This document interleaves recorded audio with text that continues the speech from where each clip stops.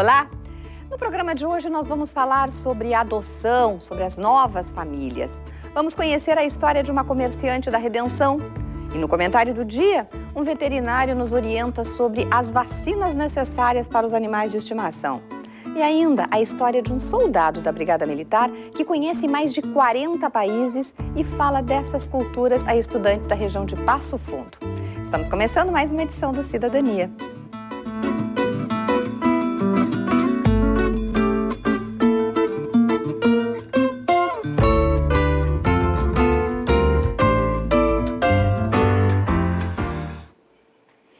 Para cada criança na fila de adoção, há pelo menos seis famílias interessadas. No entanto, 87% dessas crianças têm mais de 5 anos e, de alguma forma, elas não se encaixam no perfil desejado pela maioria dos interessados. Como reverter essa realidade? Como agilizar os processos? Esse pode ser um caminho para resolver essa situação? E os conceitos de família e as novas famílias, como é que são vistas nesse projeto? Nós vamos entrevistar hoje uma profissional que conhece muito bem desses trâmites, por atuou por muitos anos nas varas de família. Está conosco hoje a desembargadora aposentada, hoje vice-presidente nacional do Instituto Brasileiro de Direito de Família, a advogada Maria Berenice Dias. Seja muito bem-vinda aqui ao programa. Que bom, que bom estar de novo aqui. Exatamente. Começar primeiro antes de falar de adoção essas questões de família, de conceitos de família. Agora, recentemente, o Congresso Nacional está debatendo né, muito é. esses E assim, também é um no... tema muito ligado à questão da adoção. Porque assim, tem um projeto horroroso que está tramitando na Câmara Federal, que se chama Estatuto da Família. É um projeto de lei. Que projeto leva... de lei. E que diz que família é só entre um homem e uma mulher. Conclusão, se família é só entre um homem e uma mulher, por exemplo, casais formados por pessoas do mesmo sexo, as famílias homoafetivas. Que têm adotado muitas crianças. Exatamente. Então, assim, ó, isso, além de não reconhecer esses direitos, que já vêm sendo reconhecidos pela justiça há mais de 10 anos, também vai tirar da possibilidade de adoção uma parcela significativa de candidatos à adoção, uh, que muitas vezes uh, eles adotam sem esta rigidez do perfil. Né? Porque, assim, ó, os casais heterossexuais, de um modo geral, eles buscam adoção quando eles não conseguem realizar o seu projeto de filhos. E o que, que eles querem? Eles querem que seja o filho sonhado, aquele filho desejado, almejado, mais parecido, mais parecido com ele, enfim. E até porque sempre a adoção sempre foi cercada de muito mentira, né? de muito segredo, até porque as crianças né, não diziam para as crianças que eram adotadas, enfim. E os homossexuais, como é evidente que aqueles filhos não são filhos dele, né? Uhum. então eles não têm uh, esse tipo de, de, de, rigidez na escolha. Então eles são mais flexíveis, crianças de qualquer cor, muitas vezes de, de, de qualquer tamanho. Uh, e até tem um, um, exemplo assim interessante agora que eu cheguei do, esses dias do Rio de Janeiro, que era um casal de dois meninos, casados há 18 anos, que o projeto deles era adotar duas crianças, que podiam ser irmãos ou não, podia ser de qualquer cor, podia ser sãos ou doentes, enfim, e acabaram adotando quatro crianças, duas dessas portadoras do, do, de HIV e a mais velha com 12 anos de idade.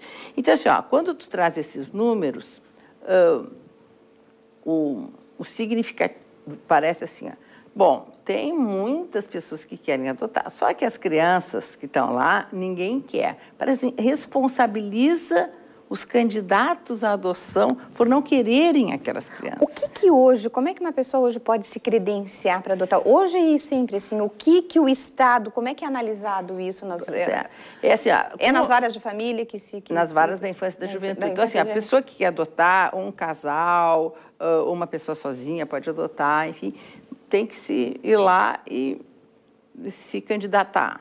Eles Mas exigem... o que é avaliado nessa pessoa? Hoje? Olha, tudo. A é. casa, é. estudo social, tem um monte de documento uh, que precisa negativas, enfim, cujo custo é mais de 3 mil reais. Então, o projeto que se tem até de essas certidões que são exigidas pela lei, pelo Estatuto da Criança e do Adolescente, sabe, esses sejam, uh, não sejam pagos, sejam gratuitos. Uhum porque as pessoas né, já vão adotar, então acho que seria um estímulo até do Estado.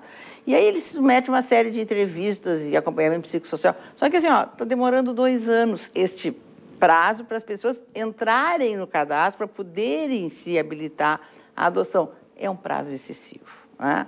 Não sei se é porque gestação é só nove meses, as pessoas ficam dois anos para poder se candidatar à adoção. E assim, daí o que, que eles colocam no perfil? Colocam o perfil do filho desejado. E aí ficam em casa esperando, e aquele filho que a gente deseja, assim, ó, desde que nasce, eu acho, principalmente nós mulheres, com a história das bonecas, enfim, e casa, e sonho. E, e, as pessoas, bom, é aquele que aquele eu... modelo de família, né? Exatamente, aquele forte. modelo mais restrito. E assim, ó, o que, que fica esperando em casa que chega a cegonha? A cegonha é um funcionário, normalmente uma assistente social, e nós temos que nos dar conta que nem todas as cidades, nem todas as comarcas contam com esses profissionais. Muitas vezes eles são contratados pela prefeitura sem nenhuma qualificação. Então, acho que esse funcionário chega e diz assim, hoje eu vou brincar de cegonha, então vou ver uh, do cadastro das crianças que tem aqui, que estão uh, uhum. esperando a adoção, se tem alguém que se coaduna assim. Mas então, se alguém... Não, eu quero um, uma criança uh, até três anos. Se a criança tem três anos e um mês, ele não vai ser consultado. Então, assim, ó, nós temos é que tirar essa ideia e, e, por que, que as pessoas eh, têm esse perfil e sonham? Por que, que eles não se afastam desse? Não se afastam porque... Será que uma campanha feita pelo Estado poderia mudar um pouco assim, esse, esse, esse, essa questão de, de levar num ideal tão, tão, tão forte? Pois é. Porque também, por outro lado, né, o, o Estado diz que eh, a gente entrevista muitos juízes da, da vara da infância e adolescência, a senhora tem essa experiência, que muitas vezes os pais biológicos é que não, não querem, e que pode ter, que a criança possa voltar à família, aquela coisa de fazer a criança retornar Mas também. Mas isto é melhor para a criança? A Constituição Federal garante com prioridade absoluta o melhor interesse da criança e a convivência familiar. Mas será que é essa, essa família do qual ela foi afastada, a família com um número muito significativo de agressões, agressões físicas, agressões sexuais. E assim, uma criança, quando ela chega a ser abrigada, bom, é porque dentro da própria estrutura familiar eles não conseguiram sabe, ficar com aquela criança. E será que atende melhor a interesse da criança ela ficar essa tentativa de voltar para os pais, ou ir para a avó, ou ir para a madrinha, ou ir para uma tia? Essa criança sempre vai estar com o seu passado muito no uhum. presente. Ela não vai ter ninguém para chamar de mãe. Ninguém para chamar de pai. E, doutora então, Maria Berenice, e essas questões que são levadas também que, de crianças que, que, que muitos pais levam para adoção, mas depois ainda rejeitam? Eu não sei se a senhora acompanha, já viu casos? Sim, tem... é a que chama devolução, devolução das crianças. Mas assim, é. ó, em primeiro lugar, eu não é que eu quis assim, absolver os candidatos à adoção. Então, para mim, são duas coisas. Então, essas crianças com muito tempo nos abrigos tentando, sabe, fazer o retorno, e que é muito infrutífero e muitas vezes são essa família chamada extensa que devolve, né, porque não tem como ficar. Ah, ele fica muito tempo no abrigo, então ele cresce lá dentro uh, e aí sai um pouco do perfil. E, em segundo lugar, as pessoas ficam muitos anos aguardando. E, às vezes, assim, ó, mudou o foco da vida. Sim. Então, eu levo dois anos para me cadastrar, para poder... Uh, uh, Sabe? Aí, bom, aí eu me formei, eu troquei de marido, eu adotei um cachorro, não sei. Você entende assim, ó, ah, quando isso é buscado... Isso não pode ser mudado lá no Não, tem que ser... Sim, mas o, o que, que, eu, o que, que eu tenho sustentado e buscado uh, e tentado, sempre é sensível a essas questões, assim.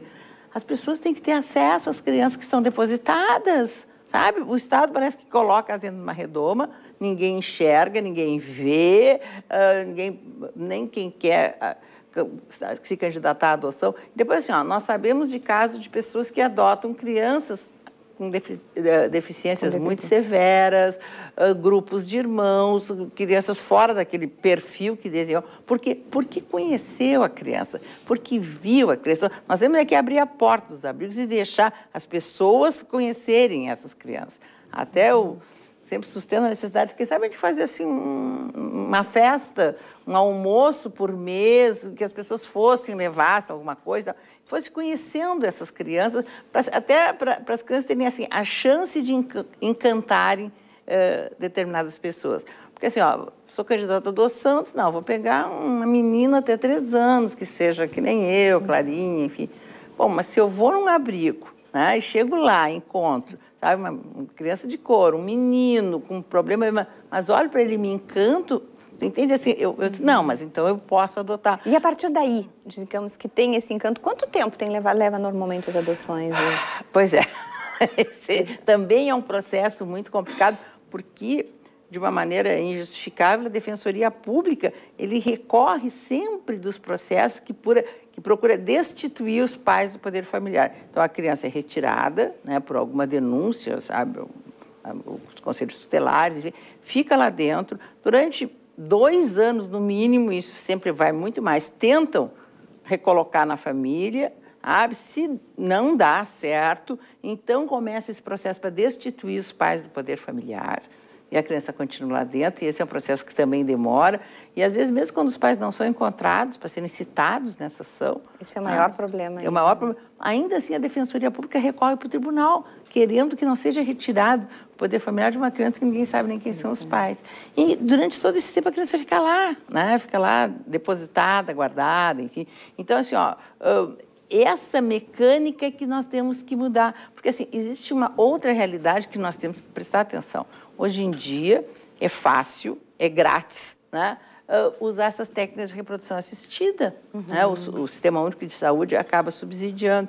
Então, assim, ó, entre adotar uma criança que tem essas enormes dificuldades, essas barreiras, enfim, bom, e usar essas técnicas de reprodução, que não precisa nem ter material genético da pessoa, né? Ser o óvulo de um, o espermatozoide do outro, faz a concepção, a, a, a, gestação ser levada à frente por outra pessoa e a criança ser daquela pessoa que sonhou, sabe? Então, assim, cada vez que. Eu não sou contra né, uhum. que as uhum. pessoas façam, mas assim, cada vez que alguém que quer ter filho, em vez de adotar, faz o filho, sobra uma criança no abrigo.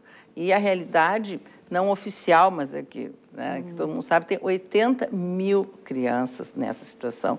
E são crianças, então, que uh, não se revoltam, não queimam colchão, tá? eles são absolutamente invisíveis e estão lá dentro dessa redoma, onde ninguém tem acesso a elas. Então, o que nós temos que mudar é esse mecanismo, ser um pouco mais ágil, bom, que as pessoas possam conhecer, eu acho que cada candidato tinha que ter uma carteirinha, onde ele fosse, sabe, batia na porta e disse, olha, eu, eu estou capacitado para adotar, eu vim conhecer e tal. E acham que estão expondo as crianças. Se essa, se essa fila é tão grande, né? Depois de adotar, tem uma curiosidade, assim, eu, eu, vejo muita informação no seu site, eu acho que a doutora Maria Berenice também foi sempre muito vanguardista nessas questões de mudanças até da lei, assim, uhum. porque a gente sempre fala a justiça, assim, tem que andar né, a par e passo com, uhum. com, com, com, as mudanças sociais. Mas é, a gente tem assistido muito é, é, no registro, principalmente no registro, as crianças que podem ter nome de dois pais, nome de duas mães. Uh, né? Outro dia eu estava lendo até que um rapaz teve o nome das duas mães, a mãe que faleceu e a mãe que o pai, que, que foi que criou a madrasta, entre aspas, né? uhum, né? Uhum. Mas que foi. Como é que são esses processos hoje? Ainda tudo depende de um processo judicial e um pouco da cabeça um pouco aberta do juiz, né? Dia de nem todos os juízes. Não, nem todos. Ah, tem algumas decisões, mas está se avançando. Quer dizer, por que, que alguém só pode ter o pai e uma mãe, né? Será que assim temos que sempre copiar um modelo biológico? Quando essa nem é mais a realidade. Até porque nessas técnicas de reprodução assistida tem mais pessoas envolvidas. Então, algo muito comum por exemplo, são as uniões de pessoas do mesmo sexo, eu chamo as uniões homoafetivas, uh, quererem ter filhos. Então, uhum. hoje em dia, uhum. homossexuais têm filhos. Né? Uh, ou por adoção, né? ou por uso dessas técnicas reprodutivas, porque eles, enquanto casal, eles são estéreis. Então, eles contam com a participação de alguém. Né, que, que seja do útero ou material genético. E muitas vezes esse projeto é um projeto comum não é assim só para o casal, aquela pessoa também participou. E até assim, a primeira decisão, ah, até foi no começo deste ano, que se conseguiu que o registro já fosse feito no nome das duas mães e do pai biológico. Isso vai na carteira de identidade. Vai na carteira né? de identidade, né? Uhum. Então, começou com esse, daqueles tinha um pai biológico, a mãe morreu, enfim. Uhum. Então, mas, de qualquer maneira, duas mães e um pai. Né? Então, esses projetos parentais, eles podem envolver mais pessoas. E, e, e, colocar um nome de mais pais ou mais mães na carteira só protege a criança, porque ela vai ter mais pessoas responsáveis por ela, uhum. uh, mais direitos, um, mais pessoas com obrigação de prestar alimentos a ela, vai pois ter é, herança isso, de isso na vida escolar, na vida, o que que muda? Pois é, é, é. Não, não Legalmente pode. não, mas afetivamente ele vai ter. Pois é, mas o filho de separado também era assim. Claro. É, não é? Antigamente não podia se brincar com filho de separado, enfim, produção independente, era uma coisa horrível. E nós não podemos restringir o direito das pessoas a ter uma identidade, de ter família, de ter pais, sabe? É o medo do preconceito que a criança pode sofrer uhum. dentro da escola. Então, no fundo, isso é educação. Nós estamos que mudando esses conceitos, mas não dizendo assim, olha, fica aí esperando, vamos ver se a sociedade claro. muda para ter um direito teu reconhecido. Só mudando bem rapidamente no final, assim, aquilo que nós falamos no início desse estatuto da família, se isso for aprovado, pode mudar essas questões de ter dois pais, ter duas mães, Com essa certeza. Ali fala um homem e uma mulher. Então, nem filiações... Uh, pluriparentais, nem adoções por homossexuais, nada desses reconhecimentos, nada de ter o direito de habitação garantido, vai ter um cadastro. E, assim, além desse projeto nacional que está andando, começar. Está numa comissão agora. Né? Isso. Né? Foram apresentados em todos os estados, porque isso é fruto dessas igrejas muito evangélicas e conservadoras que tá, estão uhum. em todos os lugares. E tinha sido aprovado pelo Distrito Federal que deu um grande susto, primeiro estado do país onde o Estatuto da Família tinha sido aprovado. Mas o bom é que o governador do vetou. Distrito Federal vetou. Então, ao menos isso já é um alento, porque inadmissível que se, sabe, se acaba retrocedendo desta maneira para excluir direito às pessoas que, como disseste, vem avançando e a justiça não é cega, mas o legislador também não pode ser covarde. Tá Sempre é um grande prazer conversar com a senhora a doutora Maria Berenice Dias e, por favor, apareça outras vezes. Só me convidar. Vamos, vamos convidar, sim. Até uma próxima e a gente agora faz um breve intervalo e já voltamos.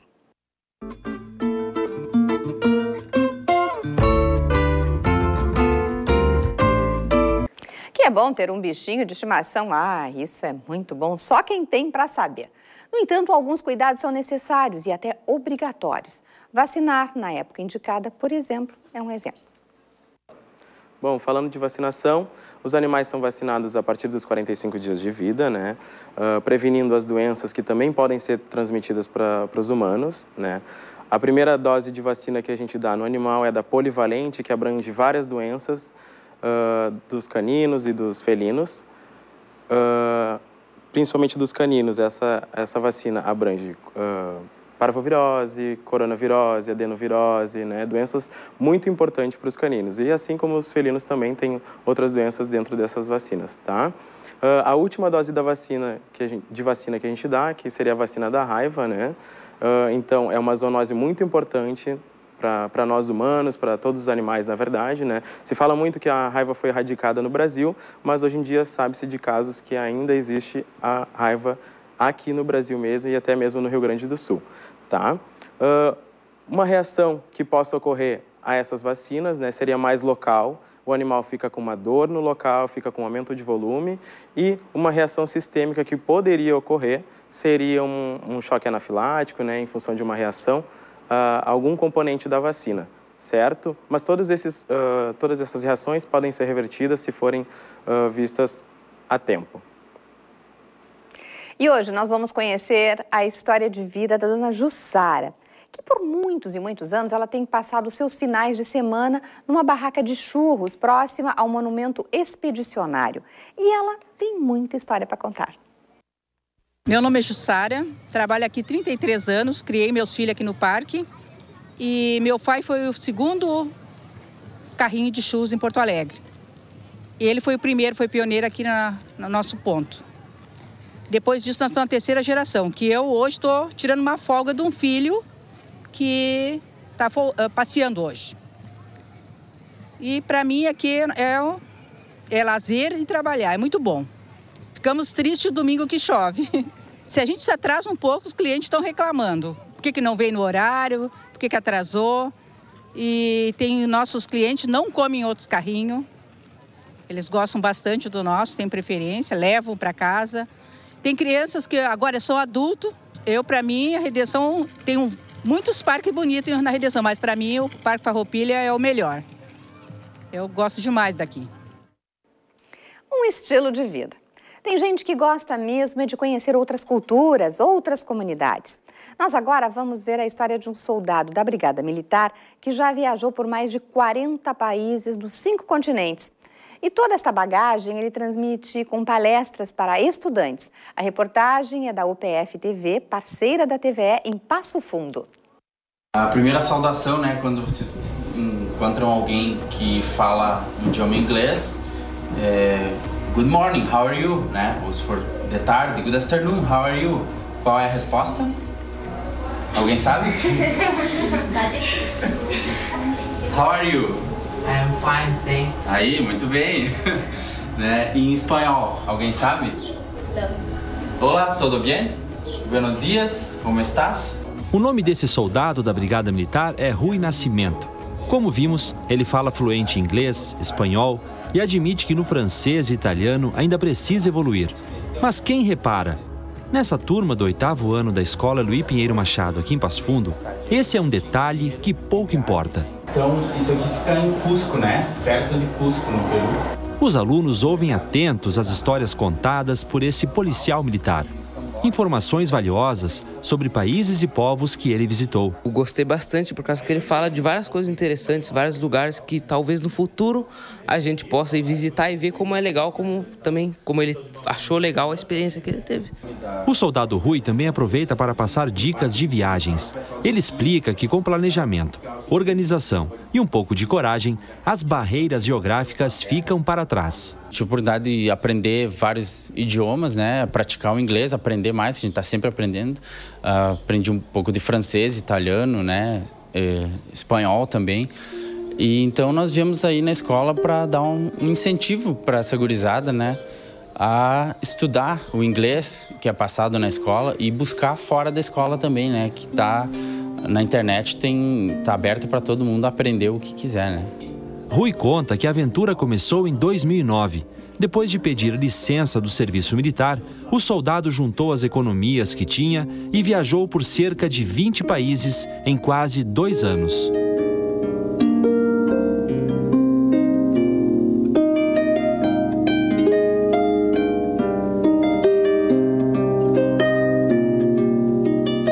Depois de voltar e retomar as atividades como policial militar, Rui não deixou de viajar. Pelo menos uma vez por ano, ele vai para um destino diferente. Em 2012, foi para o Peru. 2013, África do Sul. E no ano passado, viajou para o Chile e para a Bolívia. Foram passeios solitários, na companhia, a curiosidade de conhecer novas culturas e o conhecimento adquirido nestes anos de mochileiro. Tem que se dedicar na escola e tem que ir atrás por conta própria. E economizar, com certeza, você precisa um pouco de dinheiro, né? Pelo menos para comprar passagem para ir lá, lá fora. Então, uh, deixar de comprar coisas que não são tão importantes, né? Ou, como eu sempre digo, o pessoal nas outras turmas já falei, tu deixa de comprar um celular que custa mil reais, ou uma calça de 300 reais, ou um tênis de 500 reais, você já compra uma passagem para ir para fora do país. Nas histórias contadas, os alunos descobriram que a curiosidade desse policial militar começou cedo. Aos 17 anos, foi para os Estados Unidos sem saber uma palavra em inglês. Depois, trabalhou em um navio de cruzeiro. A partir daí, Nova Zelândia, Austrália, Tailândia, Camboja, Israel, Palestina, Jordânia, Egito, Grécia, Sérvia, Itália, França, Inglaterra. Vamos parar por aqui, né? Esse policial que está mais para mochileiro é um exemplo de que se você deseja algo, é possível. Essa é a lição que ele faz questão de passar aos alunos.